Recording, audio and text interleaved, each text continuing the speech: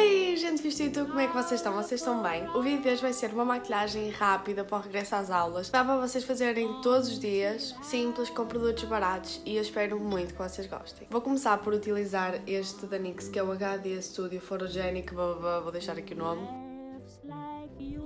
Depois eu uso este bronzer uh, da NYX, que é em creme, então eu acho muito mais fácil de espalhar, mais rápido, mais provável de não dar asneira.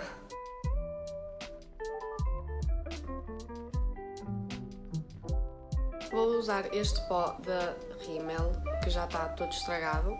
Já não sei da tampa, a tampa já partiu, ele é muito antigo já. E eu só aplico na zona T. Venho com um blush da NYX, que é o HDB15. Para finalizar a pele, eu utilizo este iluminador da NYX, que é o Born to Glow.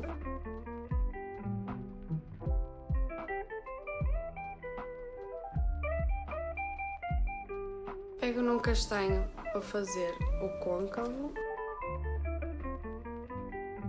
Vou utilizar este rímel da Kiko, que é o Ultra Tech Curve. E depois eu utilizo um hidratante só para os lábios. Bem pessoal, eu espero mesmo que vocês tenham gostado. É uma maquilhagem super fácil, muito rápida e toda a gente deve ter estes produtos em casa, então é super fácil de recriar. E eu espero muito que vocês tenham gostado. Beijinhos e até o próximo vídeo. Tchau!